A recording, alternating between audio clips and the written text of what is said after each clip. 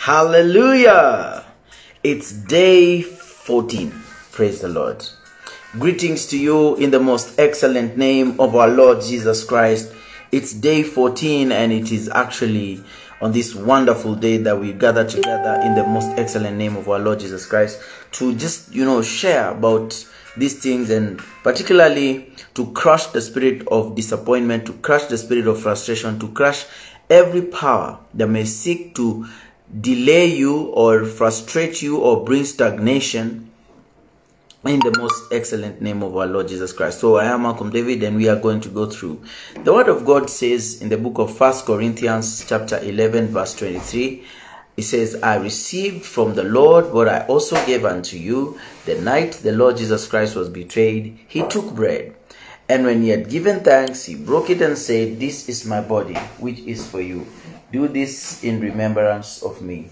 In the same way, after the supper, he took the cup.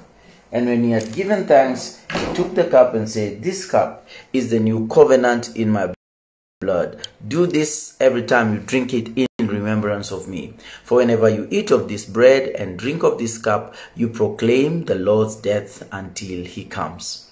Let's pray for the communion in the name of Jesus. Father, we pray for this bread. We pray for this cup. We ask that God, you may grant us, Lord, time, even in your presence, to read your word and to meditate upon it.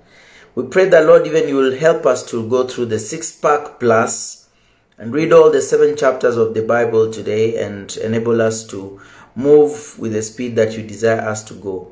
So, Father, we commit this uh, time into your hands. In Jesus' name we pray. Amen. Hallelujah. Let's partake of the bread together.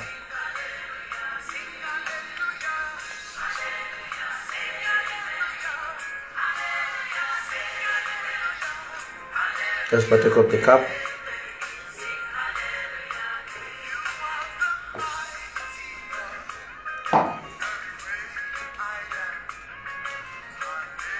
Thank you, Jesus.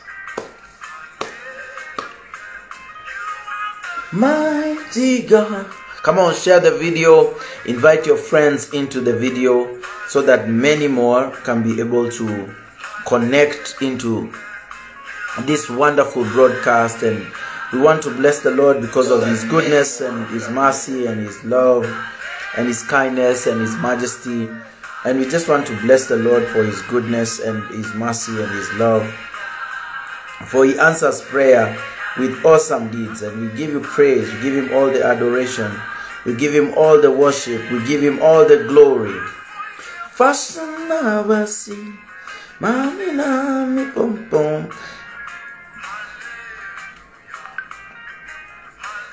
Hallelujah. We give glory to God. For he is a good God. He is a mighty God. Mighty God. We come to declare speed in the name of Jesus Christ. We move on to proclaim the word of God in the most excellent name of our Lord Jesus Christ. I bring greetings to you and also just continue to give glory to God for giving us grace to be able to continue in the journey of 150 days of Psalms.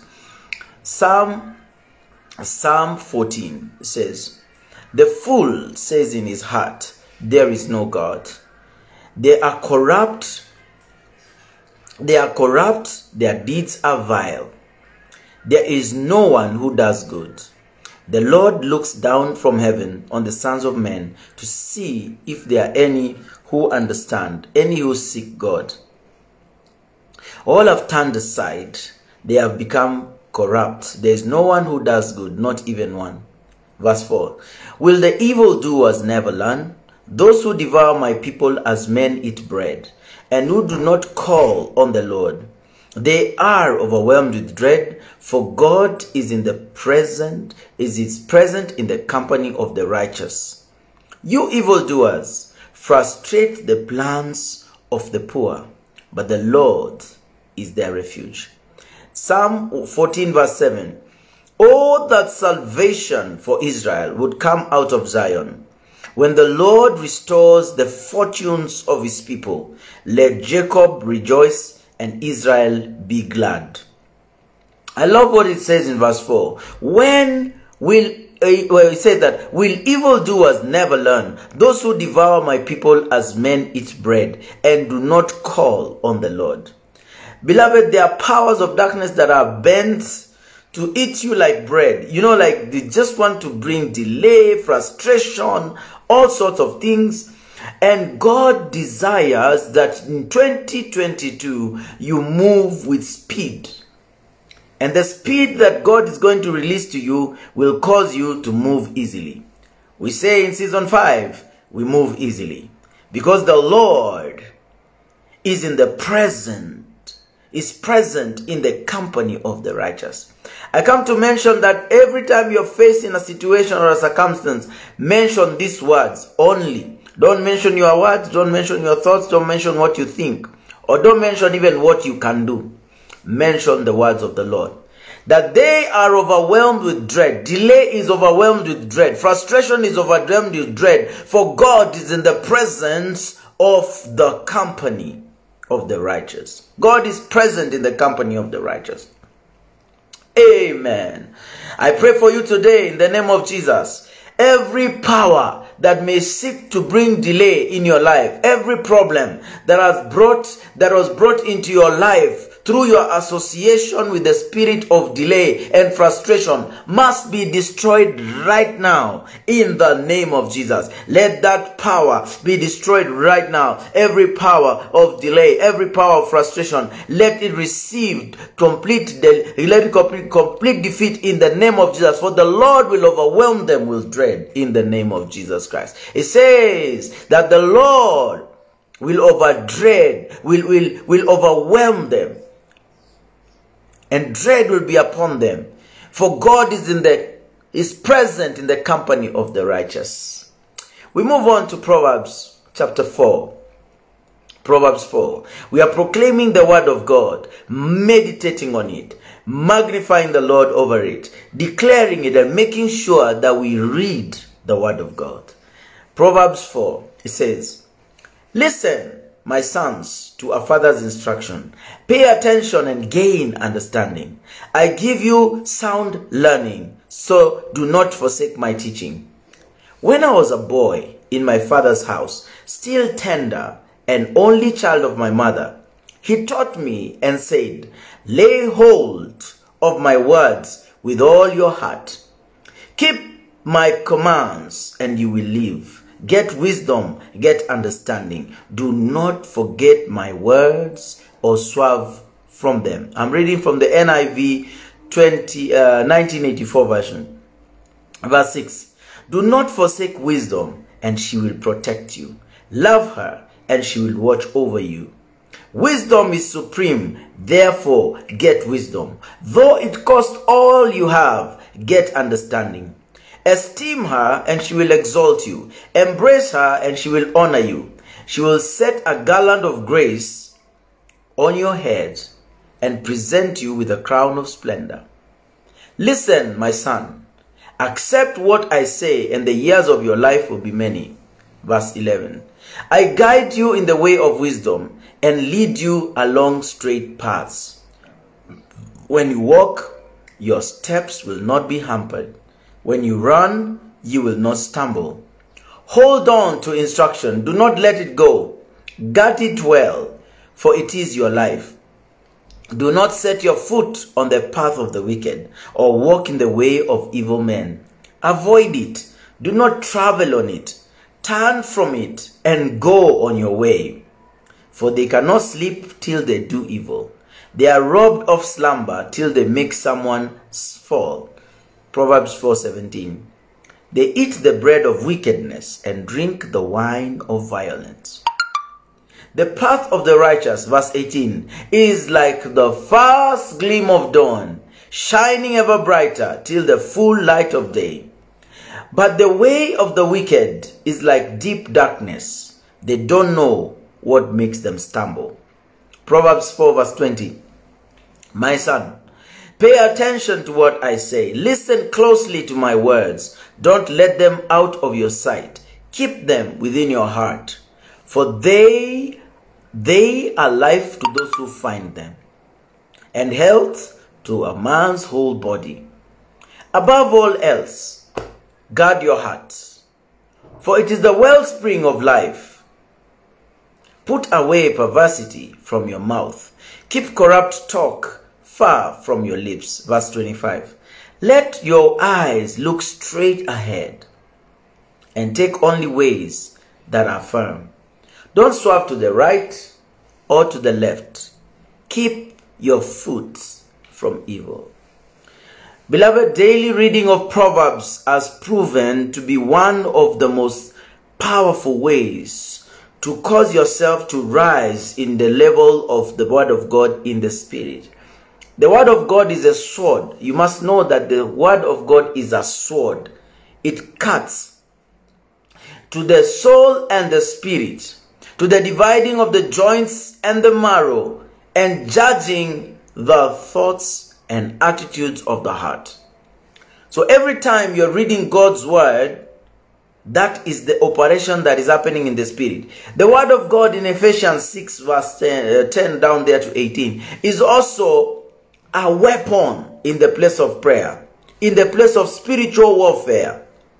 We shared about eight eight aspects of prayer. And one of the prayers known as spiritual warfare is a prayer that you need to make with the word of God richly in your heart. I want you to pray right now and cancel all the activities of the spirit of delay because the speed of God when it comes upon you, it's like the speed that we read in the book of Exodus when we read and we saw in this book of Exodus, we saw it in the book of Exodus, and in the book of Exodus, chapter 13, he told the people, Eat with your clock tucked in your belt, because the speed of God, when it comes, you just move swiftly into your agenda.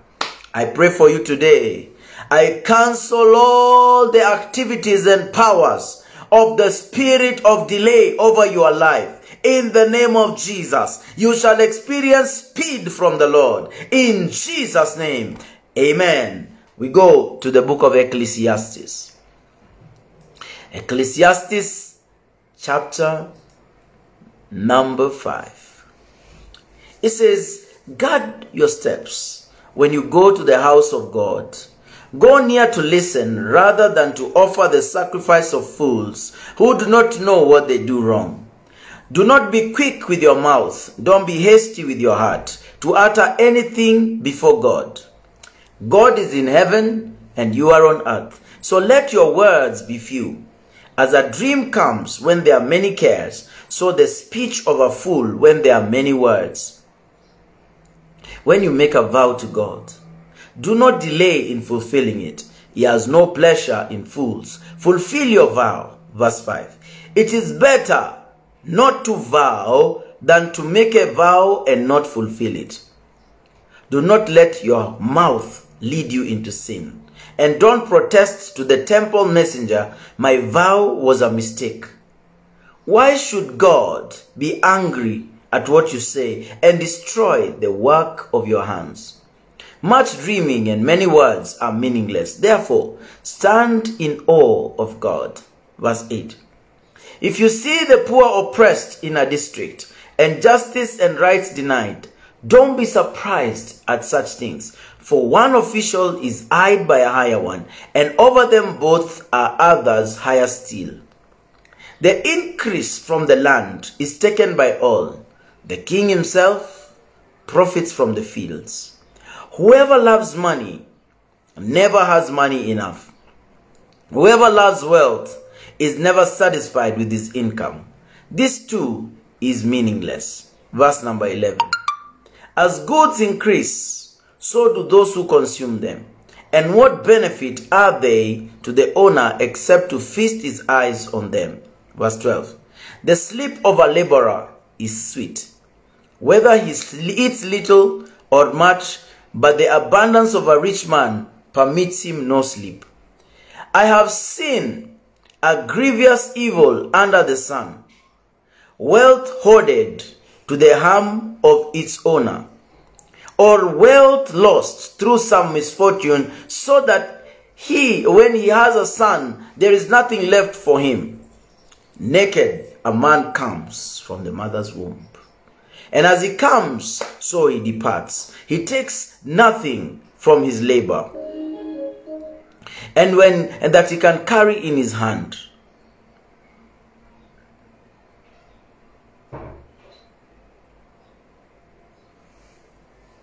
Verse 16 This too is a grievous evil. As a man comes, so he departs. And what does he gain since he toils for the wind? Verse 17. All his days he eats in darkness with great frustration, affliction, and anger. Then I realized that it is good and proper for a man to eat and drink and find satisfaction in the toilsome labor under the under the sun during the few days of life God has given him for this is his lot. Verse 19 moreover when God gives any man wealth and possessions and enables him to enjoy them to accept his lot and be happy in his work this is a gift of God. He seldom reflects on the days of his life because God keeps him occupied with the gladness of heart. Beloved, this is the kind of speed that God is going to bring to you in, 20, in 22. That God is going to cause you to seldom reflect on the days of your life. But he will cause you to be occupied with the gladness of heart. And if you remain in the Word of God, reading it and memorizing it daily and constantly, no matter what is coming into your life, God, by His power and authority, has the capacity to lift you into a new dimension where you seldom reflect on the days of your life, but God keeps you occupied with the gladness of heart so that indeed you may be able to move with speed and not stagnation. That God will enable you to experience speed and that you will move easily, just like in the days of Elijah. When Elijah prayed that the rain would come and he went and told the king, King, please saddle your horse and run. Get into your chariot and run because the rain, I hear a sound of an abundance of rain. And it says that when Ahab was on the way, that Elijah overtook Ahab who was in a chariot. Elijah overtook Ahab. The overtaking anointing is coming upon us in 2022. We are believing God and we are already experiencing it day by day by day by day. Signs and wonders, miracles, signs and wonders. Every single day we trust God for signs and wonders. Even upon you, my sister Ginger. Signs and wonders are your portion in Kansas, in the name of Jesus. Let the presence of God be there evidently to show you that He is God all by Himself. We go now to the book of Exodus, chapter 14. Exodus 14. What a joy to be able to read these words. I love the way Exodus 13 1 starts and Exodus 14 1 starts. It's the same verse. It says, Then the Lord said to Moses, I continue to pray for you, but may your ears be attentive to hear. May your ears be open to hear what the Lord is saying. As you read the word of God, the Lord said to Moses, May the Lord say to you in Jesus' name. Verse 2. Tell the Israelites to turn back and encamp near Pi Hahiroth between Migdol and the sea. They are to camp by the sea, directly opposite Baal Zephon. Verse 3. Pharaoh will think the Israelites are wandering around the land in confusion, hemmed in the desert. And I will harden Pharaoh's heart, and he will pursue them. But I will gain glory for myself through Pharaoh and all his army, and the Egyptians will know that I am the Lord. So the Israelites did this. When the king of Egypt was told that the people had fled, Pharaoh and his officials changed their minds about them and said, We have done, we have let the Israelites go and have lost their services. So he had his chariot made ready, and he took his army with him. He took 600 of the best chariots along with all other chariots of Egypt, with officers over all of them. We see now Pharaoh's heart is hardened by God. And he picks the best chariots, all the best chariots, including the armored vehicles, including the tanks, including all types of best vehicles that were there for the military. Pharaoh had them. And he said, Let's go. Verse 9 he says, Verse 8 says, The Lord hardened Pharaoh's heart. The Lord hardened the heart of Pharaoh, king of Egypt, and he pursued the Israelites who are marching out boldly. In 2022, may you march out boldly in the name of Jesus. In 2022, May you march out boldly in the name of Jesus. Whatever year you are watching this broadcast, march out boldly in the name of Jesus. No matter if Pharaoh is pursuing you, his heart will be hardened that God will gain glory. No more delay over your life in the name of Jesus. There shall be no more delay in your matter. God is at work. So it continues to say, the Egyptians, all Pharaoh's horses, chariots, horsemen, and troops pursued the Israelites and overtook them as they camped by the sea near Pi Hahiroth opposite Baal Zephon. As Pharaoh approached, the Israelites looked up, and there were the Egyptians marching after them. They were terrified and cried out to the Lord. Then Moses they, they say to Moses, was it because we have no, there were no graves in Egypt that you brought us out here to the desert to die? What have you done to us by bringing us out of Egypt? Verse 12. Didn't we say to you in Egypt, leave us alone, let us serve the Egyptians? It would have been better for us to serve the Egyptians than to die in the desert. Moses answered the people. Don't be afraid. Stand firm and you will see the deliverance the Lord will bring you today. The Egyptians you see today, you will never see again. I pray for you today that you will march out boldly, that you will stand firm, because the Lord says to you in 2022 that stand firm and be bold because the Lord will bring you deliverance on this day. And he will bring to you today deliverance. That the Egyptians you see today, you'll not see them again. Pray with understanding and declare, O Lord, arise. O Lord, arise.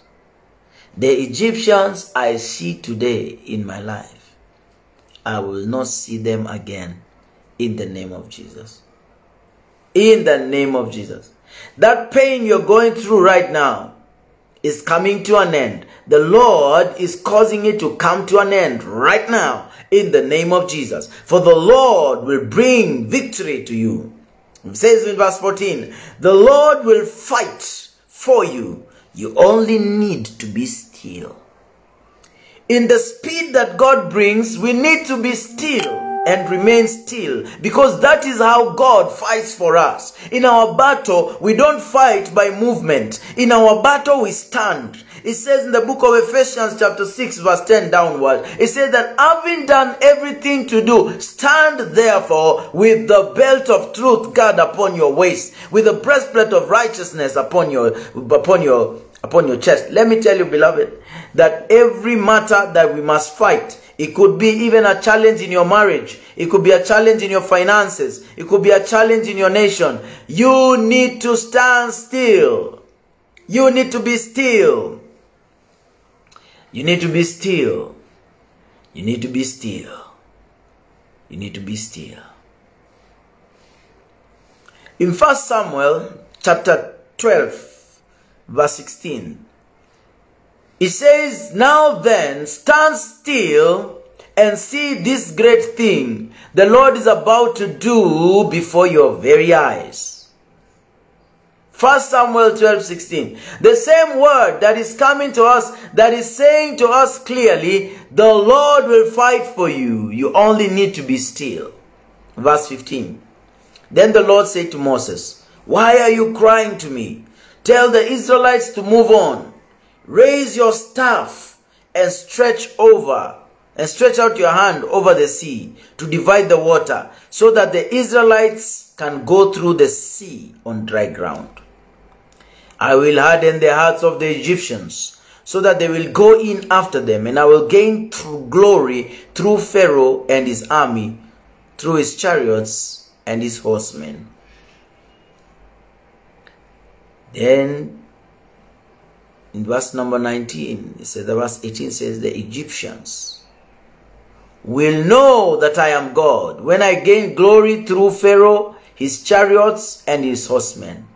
It says, verse 19, Then the angel of the Lord, who had been traveling in front of Israel's army, withdrew and went behind them. The pillar of cloud also moved from in front and stood behind them coming between the armies of Egypt and Israel. Throughout the night, the wind brought darkness to the one side and light to the other side. So neither went near the other all night long. Then Moses stretched out his hand over the sea. And all that night, the Lord drove the sea back with a strong east wind and turned it into dry land. The waters were divided. Let me pause here and mention something. The moment when God says that I will deliver you, you need only to be still is the time he's commanding the angels charge over you. He commanded the angels charge over Israel and he said that the angel that was in front of them, then now the angel moved to the back. And when the angel moved to the back, there was a war, uh, there was a cloud of fire, the cloud that turned into darkness in the night, and it became night. It became it became bright in the sight of the Israelites. God indeed is faithful, and we can see in this that He's a God of process. You may look at it as a delay, but God is working on it. That's why it did not happen like we see in the movies that Moses stretched his rod and then immediately the water comes apart. No, it was a process. It was a whole night. Listen to verse 4, uh, verse 24. During the last watch of the night, the last watch of the night, this is about 4 a.m. in the morning. 3 a.m., 4 a.m. there. That's the last watch of the night. During that last watch of the night, the Lord looked down from the pillar of fire and cloud at the Egyptian army and threw it into confusion. There are some weapons of the Lord that he employs. There are some weapons of God that are powerful. Confusion is one of them. In the book of Genesis chapter 11, we see what happened there when the people were trying to build a tower that was going to go high, high, high up to heaven. God caused confusion to come upon them. This is the same confusion the Lord is setting in the nations for anyone that claims to be God. Anyone that takes the place of Jesus, even a church, even an individual, the Lord looks from his pillar of cloud today and throws it into confusion in the name of Jesus. Be not afraid, beloved. In this year, the Lord will order your steps. In this year, God will order your steps. He will order your steps as we move on in Exodus 23 27, we will read that the Lord says, I will send terror ahead of you and throw into confusion every nation you encounter. I will make all your enemies turn their backs and run. Exodus 23 27. I come to mention to you today every kind of power, every activity, every power of the spirit of delay, over the spirit of frustration in your life, right now we send the confusion of the Lord upon it in Jesus' name. Every power that is pursuing you from the other year and the other year, that every year around this time, you are already experiencing delay in this area, in that area. Today, in the name of Jesus Christ, we mention a release in the realm of the Spirit that you will walk into your promised land victoriously. It says in verse 25, with Exodus 14, that he made the wheels of their chariots came off, that they had, drive, they had difficulty driving. And the Egyptians said, Let's get away from the Israelites. The Lord is fighting for them against Egypt. Then the Lord said to Moses, Stretch out your hand over the sea so that the waters may flow back over the Egyptians and their chariots and horsemen. Verse 27 Moses stretched out his hand over the sea, and at daybreak, so this process took place between 4 a.m., 3 a.m., and morning. At daybreak, the sea went back to its place. The Egyptians were fleeing toward it, and the Lord swept them into the sea. The water flowed back and covered the chariots and horsemen. The entire army of Pharaoh that had followed the Israelites into the sea, not one of them survived. But the Israelites went through the sea on dry ground, with a wall of water on their right and on their left. That day, the Lord saved Israel from the hands of the Egyptians, and Israel saw the Egyptians lying dead on the shore. And the Israelites saw the great power the Lord displayed against the Israelites. The people feared the Lord and put their trust in him and in Moses, his servant. We thank God for that word. We move on to the book of Second Corinthians. Second Corinthians, Second Corinthians, Second Corinthians, chapter 7. That's where we are. Speed is your portion. You are receiving speed from the Lord. It says, Since we have promises, we have these promises, dear friends, let us purify ourselves from everything that contaminates body and spirit, perfecting holiness out of reverence for God. Verse 2. Make room for us in your hearts. We have wronged no one.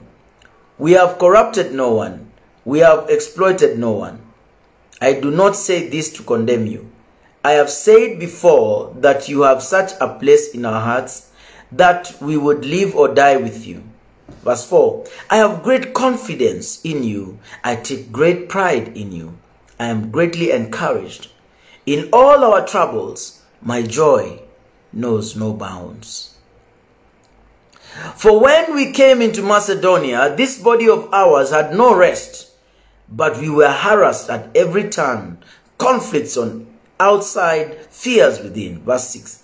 But God, who comforts the downcast, comforted us by the coming of Titus. And not only by his coming, but also by the comfort you had given him. He told us about your longing for me, your deep sorrow, your ardent concern for me, so that my joy was greater than ever. Verse 8. Even if I caused you sorrow, by my letter. I do not regret it. Though I did regret it, I see that my letter hurt you, but only for a little while. Verse 9. Yet now I am happy, not because you were made sorry, but because your sorrow led to repentance. For you became sorrowful as God intended and were not harmed in any way by us. Verse number 10. Godly sorrow brings repentance that leads to salvation.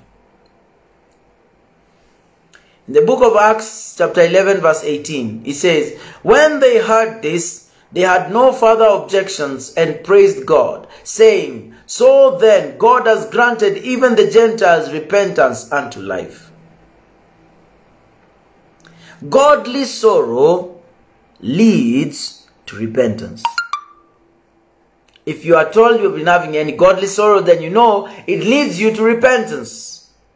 It leads you to salvation after repentance and leaves no regrets. But worldly sorrow brings death. Verse number 10, it says, verse 11, see what this godly sorrow has produced in you. That, what earnestness, what eagerness to clear yourselves, what indignation, what alarm, what longing, what concern, what readiness to see justice done. At every point, you have proved yourself to be innocent of this matter. So even though I wrote to you, it was not on account of one who did wrong or the third of the injured party, but rather that before God you could see for yourselves how devoted to us you are. Verse 13. By all this we are encouraged. In addition to our eh, own encouragement, we were especially delighted to see how happy Titus was because his spirit has been refreshed by all of you. Verse 14 I had boasted to him about you. And you have not embarrassed me, but just as everything we say to you was true, so our boasting about you to Titus has proved to be true as well. And his affection for you is all the greater when he remembers that we are all obedient, receiving him with fear and trembling. I am glad I can have complete confidence in you. What a wonderful letter to the Corinthians. We now go on to the book of Ephesians. Ephesians chapter 2. I mentioned to you that the book of Ephesians, the book of Revelation, the book of Proverbs, the book of Ecclesiastes is the accompaniment of the journey of 150 days of Psalms. For every chapter we read in the book of Psalms, we pick a chapter of Proverbs, a chapter of Ecclesiastes, a chapter of Ephesians, and a chapter of Revelation. And if a chapter, if, if any of that book comes to an end, we just continue from the top. And that way the Lord is helping us. And we are seeing how the scripture, no matter where you read, it's connected. It's connected. In the Psalms, we read about the, the, the Egyptians. We read about how they were swallowed by the water, and in Exodus, we have seen that. We go now to the book of uh, Ephesians chapter 2, a beautiful chapter. You need to know this chapter in your witnessing. So that when you are witnessing to others, you know what exactly it means to be made alive in Christ because we were dead to our transgressions. When you are a sinner, when you are rebellious, when you are doing things that did not glorify God, then by Christ you are made alive. So listen to this. As for you, you were dead in your transgressions and sins, in which you used to live when you followed the ways of this world. The ruler of the kingdom of the air, the spirit who is now at work in those who are disobedient. All of us lived among them at one time, gratifying the cravings of our sinful nature and following its desires and thoughts. Like the rest, we were by nature objects of wrath. But because of his great love for us, God, who is rich in his mercy, made us alive in Christ. Oh, Jesus. Even when we were dead in transgressions, it is by grace you have been saved. And God raised us up with Christ and seated us up with him in the heavenly realms in Christ Jesus. In order that in the coming ages he might show the incomparable riches of his grace expressed in his kindness to us in Christ Jesus. For it is by grace you have been saved through faith. It's not of yourselves. It is the gift of God, not by works, lest anyone can boast. For we are God's workmanship, created in Christ Jesus to do good works, which God prepared in advance for us to do. Verse 11. Therefore, remember that formerly you who were Gentiles and called uncircumcised by those who call themselves the circumcision, that is done in the body by hands of men. Verse 12 says, Remember that at a time you were separate from Christ, excluded from citizenship in Israel, and foreigners to the covenants, the promises, the hope, without hope, and without God in the world.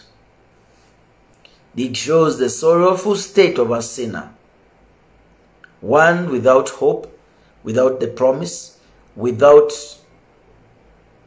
citizenship in heaven.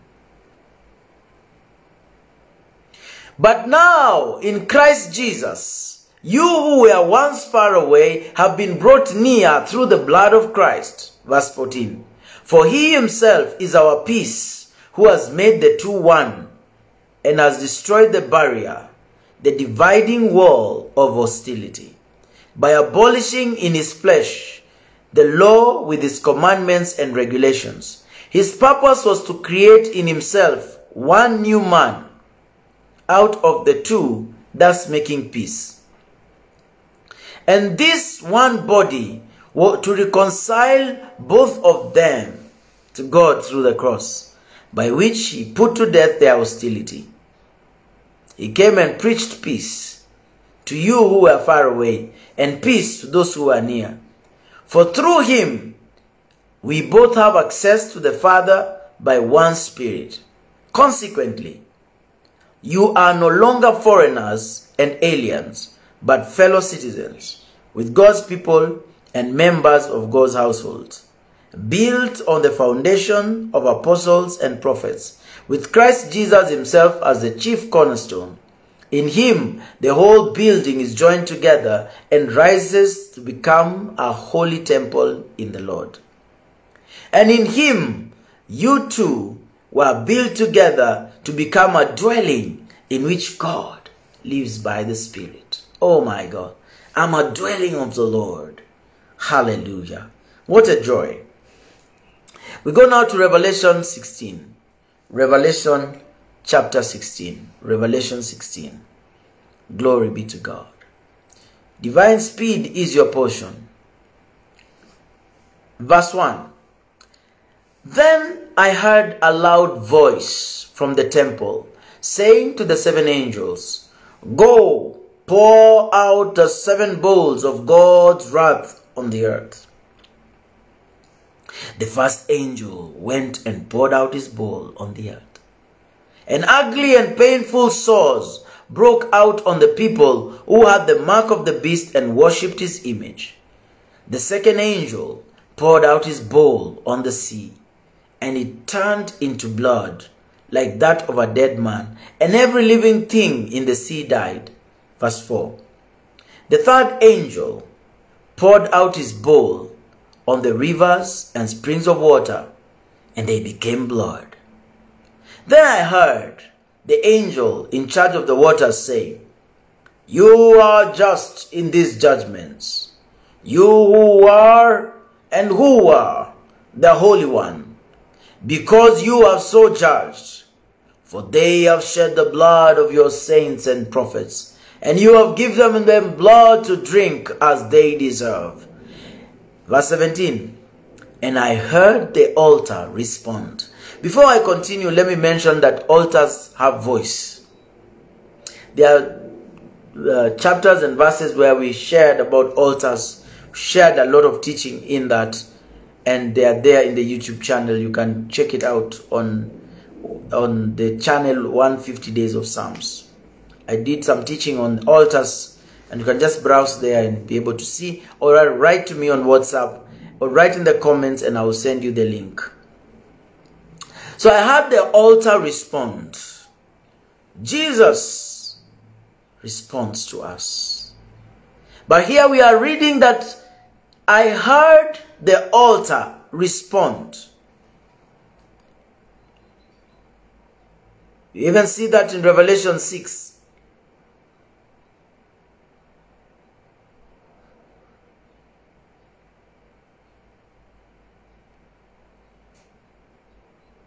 Shows us about the altar. We See the altar. Revelation 6 9. Revelation 14, verse 18. If you want to see more about the altar in heaven, it's there. And this altar in heaven, we are able to connect with it through prayer, through fasting. We are able to connect with this altar. And this altar responds. I come to speak to you today. May the altar in heaven respond over your matter in this year and beyond. In the name of Jesus, may the altar in heaven speak on your behalf. Let it respond in on your behalf. In the name of Jesus, may you find speed and finality. No more delay. May the Lord just cause you to move with a speed that comes from Him into the agenda of what He purposed for you. Revelation 16 7. And I heard the altar respond, Yes, Lord God Almighty, true and just are your judgments. The fourth angel poured out his bowl on the sun, and the sun was given power to scorch people with fire, but they refused to repent and glorify him. The fifth angel poured out his bowl on the throne of the beast, and the kingdom was plundered into darkness. Men gnawed their tongues in agony and cursed the God of heaven because of the pains and their sores. But they refused to repent of what they had done. Revelation 16:12. The sixth angel poured out his bowl onto the great river Euphrates, and its water was dried up to prepare the way for the kings of the from the east. Verse 13. Then I saw three evil spirits that looked like frogs. They came out of the mouth of the dragon, and out of the mouth of the beast, and out of the mouth of the false prophets. These are the spirits of demons, performing miraculous signs, and they go out to the kings of the whole world to gather them for battle on the great day of God Almighty. Behold, I come like a thief. Blessed is he who stays awake and keeps his clothes with him, so that he may not go naked and be shamefully exposed. Verse 16. Then they gathered kings together to the place that in Hebrew is called Armageddon. The seventh angel poured out his bowl into the air, and out of the temple came a loud voice from the throne saying, It is done. Then there came slashes of lightning, rumblings and peals of thunder, and a severe earthquake. No earthquake like it had ever occurred since man had been on earth. So tremendous was the earthquake.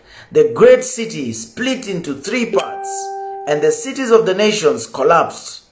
God remembered Babylon the Great and gave the cup filled with the wine of the fury of his wrath.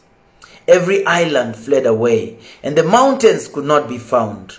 From the sky, huge hailstones at about a hundred pounds each fell upon men, and they cursed God on the account of the plague of hail, because the plague was so terrible.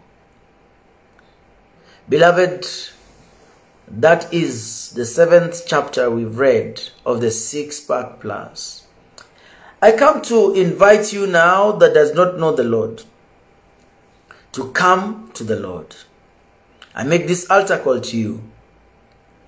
The word of God says in Romans 10 verse 9 that if you confess with your mouth Jesus is Lord and believe in your heart God raised him from the dead, you shall be saved. I pray for you today that you shall truly be saved. I want you to pray this prayer after me and receive salvation. Say, Lord Jesus, I confess with my mouth that you are Lord. I believe in my heart God raised you from the dead. Write my name in the Lamb's book of life. I am born again. The old is gone, the new has come. Fill me with your Holy Spirit and with your fire. In Jesus' name, amen. If you pray that prayer, drop me an inbox, write to me, and that I will be able to get back to you and pray with you some more. But let's just pray for you and even pray as we conclude the broadcast. We also want to pray for the giving, we want to pray for the, the time of connecting with God like this, and the Lord will help us as we continue to trust Him for this journey of 150 days of Psalms. That God is helping us every time. The Lord is helping us to constantly and daily be able to do this for His glory. Now, Father, we want to pray for the partners and the viewers all over the world. We want to pray for them that, Lord, your hand is going to be upon them mightily. As you can, Lord, I pray that you stretch your hand upon the new beloved, the new born again people, the one who have given their lives to Christ, O Lord. I pray that your hand will be upon us in a mighty way. I pray that, Lord, your spirit will continue to be with us and for us. And we pray that God will see you in a way that only you can. Only minister to us, Lord. So we continue to pray against confusion that the enemy may want to send to us. For we know he's a counterfeit and a chief and a, and a cheat, oh God. We know that he likes to try to look like he's advancing and winning. But Father, we pray that he shall never win. Deception shall never win. Fear shall never win. Sickness shall never win. Lord, we pray that your hand will be upon us, O God. So we trust now, Lord, as we continue to walk in your goodness and in your favor, the Lord will shine your light upon us in every way. So we thank you and we bless you. In Jesus' name we pray with thanksgiving. Amen. Beloved of the Lord, that marks the end of today's broadcast. I am Malcolm David. Thank you so much, Sister Ginger, for staying through till the end of today's broadcast. God bless you and have a wonderful time. Have a wonderful day if it's day where you are in Jesus name. It's 1:47 in the PM on the 11th day of 2022. We bless the Lord. Shalom.